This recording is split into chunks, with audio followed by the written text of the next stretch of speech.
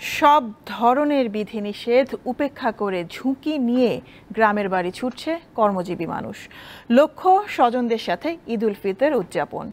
মানুষের দুর্ভোগ লাঘবে, ফেরি চলাচল স্বাভাবিক করেছে বিআইডব্লিউটিএ। দূরপাল্লার বাস বন্ধ থাকায় নানা উপায়ে সড়ক পথে গ্রামের বাড়ি ফিরছে নগরবাসী। এদিকে ঈদের ছুটি বাড়ানোর দাবিতে বিক্ষোভ করেছে পোশাক শ্রমিকরা। পুলিশের সাথে তাদের সংঘর্ষের ঘটনাও ঘটেছে।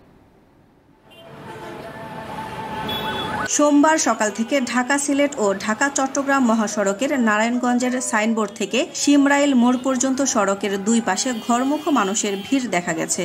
দূরপাল্লার পরিবহন না চললেও মাইক্রোবাস ও প্রাইভেট কারে দ্বিগুণ ভাড়ায় গ্রামের বাড়ি ফিরছে তারা। এখন এই যে আমি রুগী নিয়ে দাঁড়া রয়েছি আমার ক্যান্সারের রুগী আমি এখন যাইতে পারতেছি না গাড়ির জন্য। আমি আগে আসতাম ভাই আড়াইশো টাকাতে আর এখন এক হাজার বারোশো টাকা করে ভাই ভাড়া নেয়।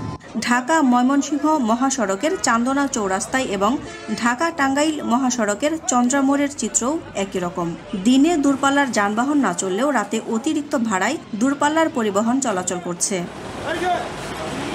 সিরাজগঞ্জে বঙ্গবন্ধু সেতু থেকে হাটিকুমরুল পর্যন্ত মহাসড়কে যাত্রীদের ভিড় দেখা গেছে। প্রাইভেট কার, মোটরসাইকেল ও ট্রাকে করে গ্রামের বাড়ি ফিরছে উত্তরাঞ্চলের মানুষ। ঠিক মতো মানা হচ্ছে না স্বাস্থ্যবিধি। গত কয়েকদিনের মতো সোমবারও ফেরিঘাটগুলোতে ঘরমুখ মানুষের উপচে পড়া ভিড় দেখা গেছে।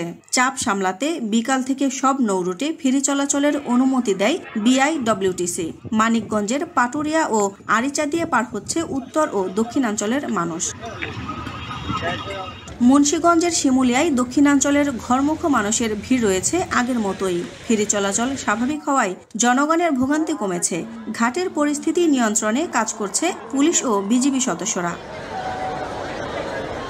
এদিকে ঈদের ছুটি বাড়ানোর দাবিতে বিক্ষোভ করেছে পোশাক শ্রমিকরা। গাজীপুরে টঙ্গীর মিলগেইট এলাকায় পোশাক শ্রমিকদের সাথে পুলিশের সংঘর্ষের ঘটনা ঘটেছে। এ ঘটনায় পুলিশ সদস্য সহ অর্ধ শতাধিক শ্রমিক আহত হয়েছে।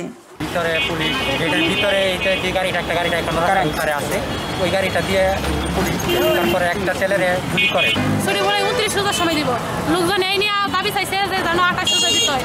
দাবি করতে গিয়ে ভাঙচুর পুলিশ নিয়ে আসা গাজীপুরের মৌচাকেও একটি পোশাক কারখানার শ্রমিকরা দশ দিনের ছুটির দাবিতে বিক্ষোভ করেছে।